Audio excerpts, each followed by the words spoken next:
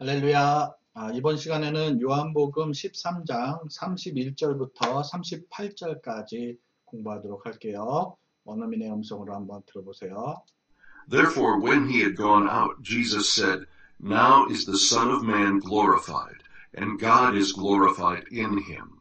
If God is glorified in him, God will also glorify him in himself, and will glorify him immediately. Little children, I am with you a little while longer. You will seek me, and as I said to the Jews, now I also say to you, where I am going, you cannot come. A new commandment I give to you, that you love one another, even as I have loved you, that you also love one another. By this all men will know that you are my disciples, if you have love for one another. Simon Peter said to him, Lord, where are you going? Jesus answered, Where I go, you cannot follow me now, but you will follow later. Peter said to him, Lord, why can I not follow you right now? I will lay down my life for you. Jesus answered, Will you lay down your life for me? Truly, truly, I say to you, a rooster will not crow until you deny me three times. 자, 여기까지 공부할게요. 예, 31절 돌아가십니다. Therefore, when he had gone out, 그래서 어, therefore가 그래서 그러므로 이런 얘기죠. When he had gone out, 이 he는 유다 이스카리ot 유다예요. 예수님을 배신할 유다가 나갔을 때 Jesus said 예수님께서 말씀하셨어요. Now is the Son of Man glorified. 지금 the Son of Man 인자죠. 인자가 여기 이제 비동사와 glorified가 이게 결합돼서 어, 영광을 받다 이런 뜻이죠. 예, 수동태예요. 어, 지금 인자가 영광을 받고 있고 and God is glorified in him. 하나님께서도 in him 그 안에서 어, 영광을 받고 계시다 이런 얘기죠. 31절 보십니다. Therefore 그러므로 when he had gone out 그가 나갔을 때 Jesus said 예수님께서 말씀하시기를 Now is the Son of Man glorified. 이제 인자가 영광을 받고 있고 and God is glorified in him. 하나님도 그 안에서 어, 그분 안에서 어, 영광을 받고 있다. 32절에 if God is glorified in him. 만약에 어, 하나님께서 그분 즉 예수님 안에 영광을 받으면 God will also glorify glorify him. 자, 어, 하나님도 그분 즉 예수님을 in himself 어, 그분 안에 즉 하나님 안에서 영광을 주실 것이다. and will glorify him immediately 그리고 어, immediately 속히 주실 것이다. 어, 속히 영광을 주실 것이다. 영화롭게 하실 것이다 이런 말이죠. 32절 If God is glorified in him 만약 하나님께서 그분 즉 예수님 안에 영광을 받으시면 God will also glorify him in himself 하나님은 그분 안에서 그분 즉 어, 예수님을 영과, 영화롭게 할 것이고 and will glorify him immediately 그분 즉 예수님을 속히 영화롭게 할 것이다 이런 얘기죠. 그래서 33절에 가시면 little children 작은 자녀들이여 이런 얘기죠. 음, 여기서 이제 어, children은 자녀들 어, 그래서 이제 child 어, 단수는 child입니다. 예, 아이죠. I am with you. 내가 너희랑 a little while longer 좀더 어, 있게 된다. 자, 여기 마침표 있다고 생각하시면 돼요.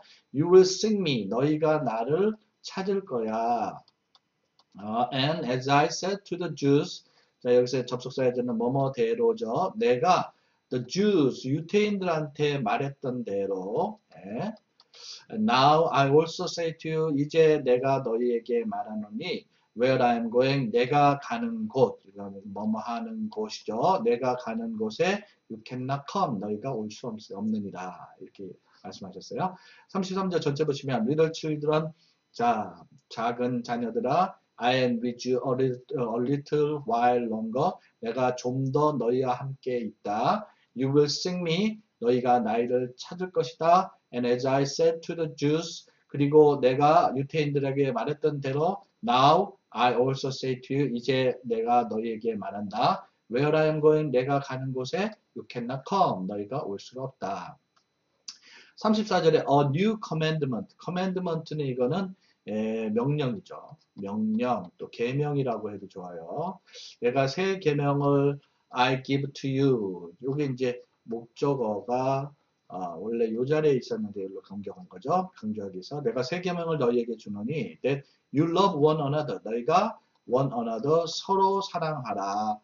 even as I have loved you. 내가 너희를 사랑했던 것처럼 that you also love one another. 너희도 또한 서로 사랑하라. 그죠? 34절 다시 보십니다. A new commandment I give to you. 새로운 계명을 내가 너희에게 준다. That you love one another. 너희가 서로 사랑하라. 이런 얘기죠. Even as I have loved you. 내가 너희를 사랑했던 것처럼 that you also love one another. 너희도 서로 사랑하거라. 이렇게 말씀하셨어요. 35절에 by this 이로써 이것으로 즉 너희가 서로 사랑하는 것으로 all men will know 어? 너희 어, 모든 사람들이 that 이하를 알게 될 거야. That you are my disciples. 너희가 나의 제자라는 것들을. If you have love for one another. 너희가 서로에 대해서 사랑을 갖고 있다면. 이런 얘기죠. 예수님의 제자의 어, 이, 어, 제자임을 나타내는 것은 바로 서로, 바로 서로 사랑한다는 것이죠. 35절 전체 다시 보십니다. By this, 이로써 all men will know, 모든 사람들이 알게 될 것이다. That you are my disciples, 너희가 내 제자라는 것을. If you have love for one another, 너희가 서로에 대해서 사랑을 갖고 있다면, 이런, 이런 말씀이시죠. 자, 36절에 어, 사이먼 피터 세트인 시몬 베드로가 예, 수님께 말했어요. Lord, 주님, where are you going? 어디로 가십니까? Jesus answered, 예수님께서 답변하시죠. Where I go? 내가 가는 곳, you cannot follow me now. 이제, 어, 이제 네가 나를 따라올 수 없다. follow는 따르다죠. 네. But uh, you will follow later. later는 나중에 이런 뜻입니다. 그러나 나중에 에, you will follow. 네가 따르리라. 이렇게 되겠죠. 36절 전체 보십니다. 사이몬 피터 said to him, 시몬 베드로가 그분께 말했어요. Lord, 주님, where are you going? 어디로 가세요? Jesus answered, 예수님께서 답변하시기를, where I go? 내가 가는 곳, you cannot follow me now. 네가 지금 따를 수 없느니라. But you will follow later. 그러나 나중에 따를 것입니다. 37절에 Peter said to him, 베드로가 어, 예수님께 말했어요. Lord, why can I not follow you right now? right now는 지금 당장 이런 표현입니다. 그래서 내가 왜 어, 제가 왜 당장 당신을 따라갈 수가 없나요? I will lay down my life for you. 당신을 위해서 lay down이면 내려놓다란 뜻이에요. 예? 그래서 내 목숨을 당신을 위해서 내려놓을 거예요. 이런 얘기죠. 37절 다시 보십니다. Peter said to him, 베드로가 그분께 말했어요. Lord, 주님, why can I not follow you right now? 지금 당장 당신을 왜 따를 수가 없죠? I will lay down my life for you. 제가 당신을 위해서 내 목숨을 내려놓았습니다. 이렇게 얘기해요.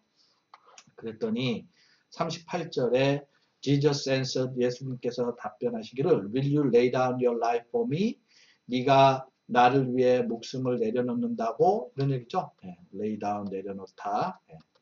네가 어, 나를 위해 목숨을 내려놓는다고 Truly, truly, I say to you. 진실로, 진실로 내가 너희에게 말한다. 너에게 말한다. 참 이게 슬픈 얘기죠. 어, rooster. Rooster는 이거는 명사로 수탉입니다. 수탉.